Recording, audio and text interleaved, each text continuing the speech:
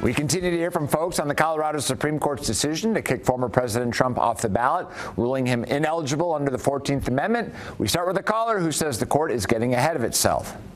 Trump has not been charged nor found guilty of insurrection. So whether you like him or not, it is not up to unelected justices to make that decision for the voters of Colorado or any other state.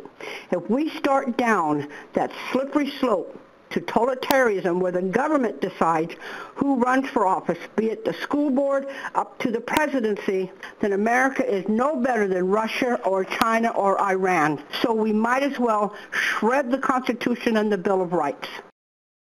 But Anonymous tells us all four of the justices in Colorado who voted to boot Trump off the ballot there won the retention election, so they are indeed elected officials after their initial appointments. Trump's removal isn't partisan, but based on real qualifications listed in the Constitution.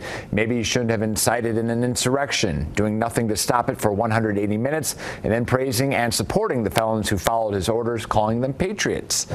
All right, we're going to finish up with a rant from Mitchell, who tells us police should go after some of the smaller traffic offenses because it might head off trouble down the road.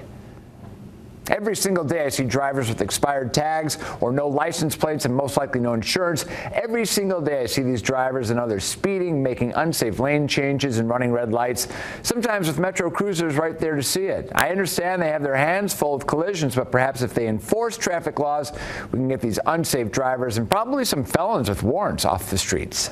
And this is the place for you to be heard. The email address is therant at fox5vegas.com. You can give us a call at 436 8285.